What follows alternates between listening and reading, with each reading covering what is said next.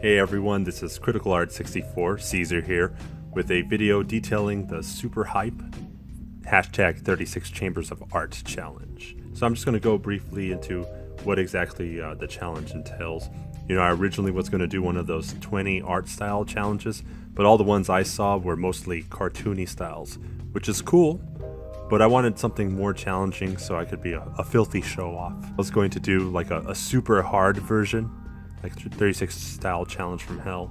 But then it occurred to me if, if I expand the challenges to include any art styles, uh, subject matter, or mediums, I can open it up to everyone. And if no one does it, I'll just be the dojo master by default. King in the castle, king in the castle. If uh, other people join, I can make a cool community of highly versatile artists now, I settled on 36 challenges because I'm a huge, a huge kung fu movie and Wu Tang Clan aficionado. But uh, in the movie The 36th Chamber of Shaolin, Gordon Liu has to complete all 36 chambers to master Shaolin, but most of the monks just like to hang out in the chambers they were really comfortable with, uh, which I thought was a great metaphor for the art community as a whole. How this challenge is going to work is there's going to be 36 chambers. To complete a chamber, uh, you just send me the image of your art and I will judge it on a 30 point scale. So you get 10 points for composition, and that's going to be the design, the color scheme, the layout, you know, the proportion, the concept.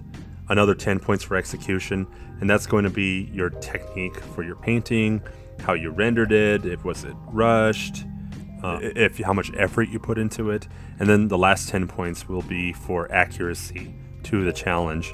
So whether it's if you're doing a particular style, did you meet the rules of that style, or did you capture uh, the essence of the chamber itself?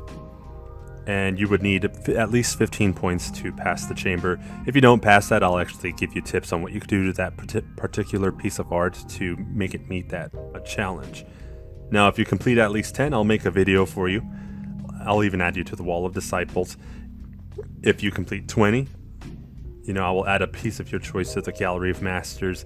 And then 36, I'll make you a statue in the courtyard and uh, refer to you as Grandmaster. If you would want to make any changes about how I would go about that, uh, let me know. All my contact info is in the description.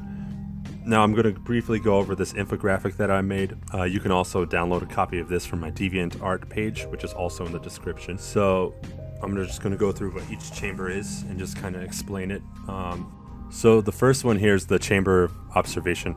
I also called it the chamber of reality.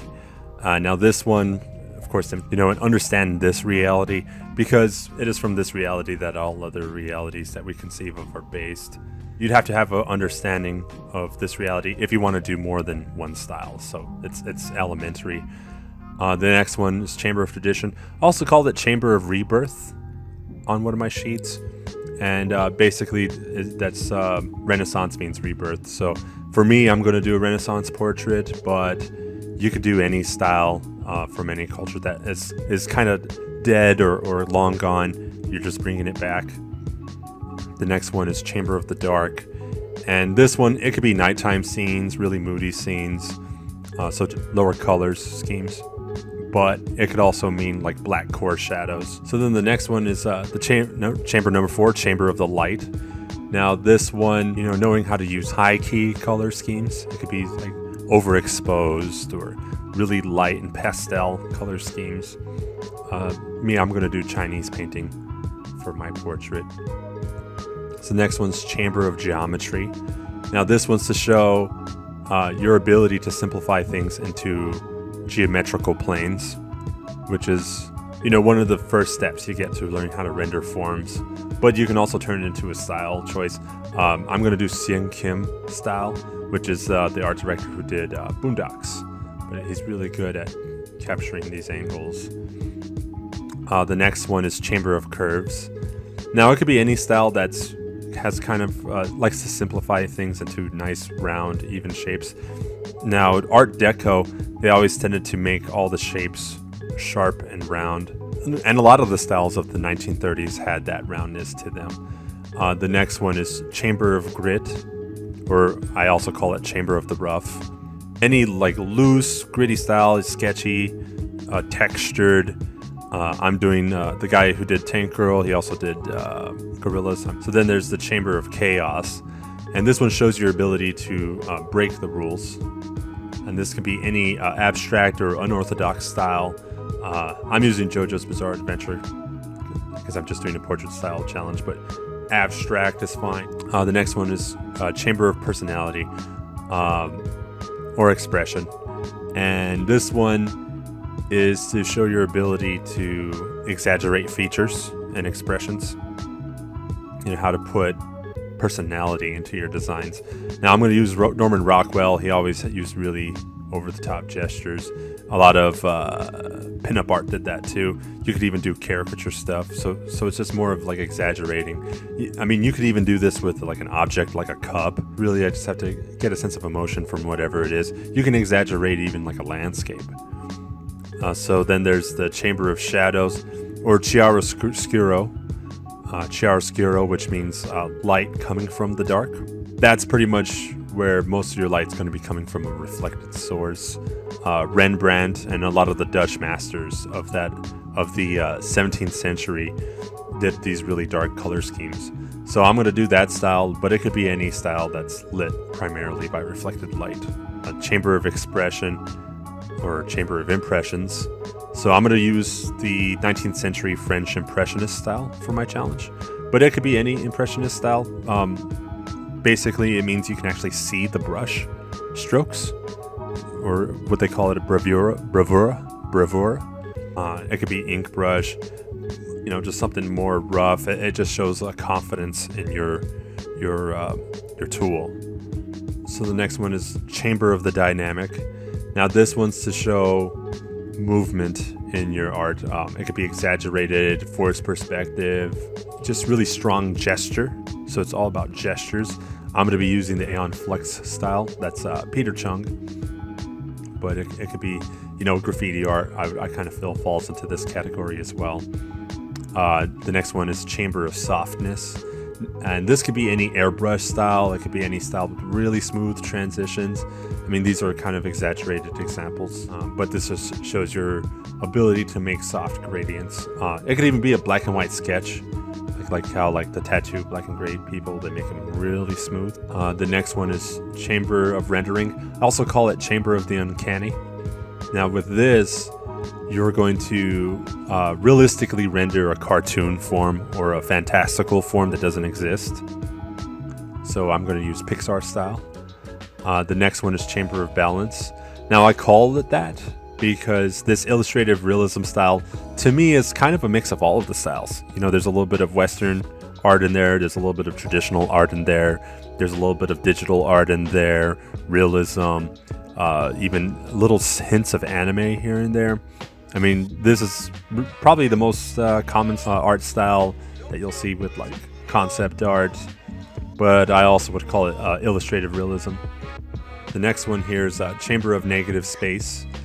Now I call it that because um, I'm going to be doing the Frank Miller style. Uh, he actually did uh, the comic Sin City, and he did it by using black paper and using a white, you know, white paint marker to do the actual drawing. Um, but you know, it's just starting with a dark canvas and using uh, and painting with the light colors. Uh, you could also do it where you know you use utilizing a lot of negative space. I'll accept either. The next one is Chamber of Water. Now this one's to show mastery of uh, washed um, or wet mediums or watercolors. But I, would like to see you know the use of opacity, the translucence. Uh, the next one is Chamber of Nostalgia. Now, this one can be any style from your childhood. Um, I'm going to be doing 90s anime. The, the kind of lo fi aesthetic. It's kind of a nostalgia for a time you never lived in kind of thing that's real popular nowadays. So, just it could be anything around that. Uh, the next one is Chamber of Simplicity. So, this is uh, being able to simplify your forms to where they're still readable using minimal elements. See a lot of book covers this way. It could be gesture lines, color shapes, uh, less is more, you know, Zen kind of aesthetic. So then there's the Chamber of the East. Now this could be anime, it could be uh, manhwa, which, which is Chinese, or manhua. I mean manhwa, which is Chinese, manhwa, which is Korean. uh, art, they all kind of come from the same tradition. So yeah, just basically anime styles or manga styles. The next one is Chamber of the West, and that could be any Western style animation, whether it's Disney, uh, it could be Ralph Bakshi, uh, any American cartoon. Now, I'd, I'd like to keep it challenging and not do the Cal Arts so much, but I mean, you could do good versions of that too. That's fine. It just has to be from the West. Uh, the next one is Chamber of Unification, and that's when you blend American cartoons and anime cartoons. Got Big O here. Uh, Studio Trigger tends to do that. I'm going to do tr- Studio Trigger style. You know, Avatar's real popular too. Um, the next one is Chamber of Lines. Now, this one's to show mastery of your line work. It could just be purely line work. It could be a form rendered with only only using lines. I'm going to use Patrick Nagel style. Oh, the next one here is the, the Chamber of Adventure. Now, this one, uh, it could be fantasy art, you know, Frazetta, Boris Vallejo style stuff. It could, or like how old uh, arcade cabinets and movie posters had these uh, these kind of really saturated acrylic and oil paintings. So really just capturing this style. So the next one's uh, Chamber of Shading. Now, th- it doesn't have to be black and white. I don't know. I just chose a bunch of black and white examples. It could be uh, cross hatching. Uh, it could be etching, which is just lines. It could be stippling, you know, dots. Or it could be manga half toning, where they use these like little print dot textures that they cut out. So really, that just shows you have mastery of, values. So then Chamber of Heroes. Now this could be any post Silver Age comic style, hyper detailed style. Definitely not easy. Uh, then we got Chamber of Color. Now it could be I'm going to use Fauvism, but it could be anything that has these rapidly shifting color hues. Um, now really that just shows mastery of your your values. If you get the values right, you can pretty much use any color and it'll it'll make some sense. Uh, Chamber of the Second Dimension. So that could be any style that's intentionally flat, uh, medieval, Egyptian, Greek, or even uh, Japanese uh, ukiyo-e or, or, shoji screens. They had that real flat look to them. So it's just your ability to flatten the image but still make a visually appealing design. Um, next one is Chamber of Magic, which I named after the uh, magic hour of lighting when the sun's real low on the horizon. Um, but yeah, it could be anything where, you, where you're getting this like specular effect on the hair. It could be that evening lighting. Uh, I'm, I'm going to use pre-Raphaelite style. They often always painted during this hour. Um, but it just shows you you have that mastery of lighting. The next one is Chamber of Mosaic. Now this one can be pixel art. It could be a mosaic. Uh, I have this Amy Winehouse that's made out of pills. I thought that was cool. Or even pointillism, uh, which is different than stippling. It's kind of where they actually would use the brush shape rather than just a dot. Uh, the next one is Chamber of Reflection. I didn't really have any examples. I'm going to be using Bengus since I'm doing Chun Li for Street Fighter. He just, he's the guy that did the Street Fighter art. Uh, but it could be any artist that you personally drew influence from. So that's up to you. Uh, 32 is Chamber of Design. This is Chamber shows that you have that, that you can create graphic patterns that are that are almost abstract or, or even you could do surrealism. So it's it's blending the real with the fantastic. Is kind of the point of this challenge.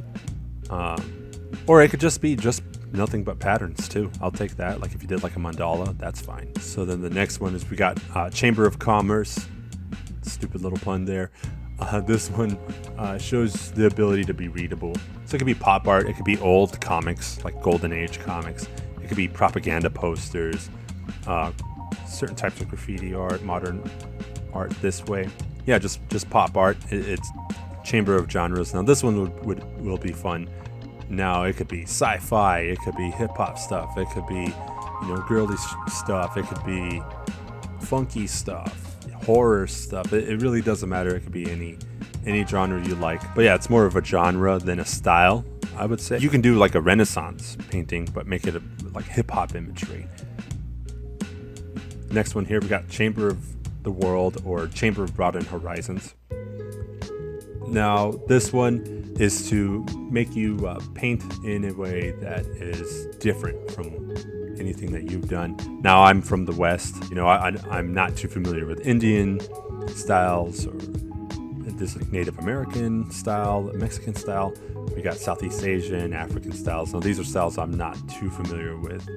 Um, a lot of these traditional styles have a lot of rules to them or a really specific look. So I'll be judging you on accuracy to that. Yeah, definitely have fun with that one. Then Chamber of Self Mastery. Oh, I misspelled it. Oh, damn it. Uh, Chamber of Self Mastery. Uh, this one shows the perfection of your own style. And I put that, that towards the end because maybe doing all these other challenges might affect this a little bit.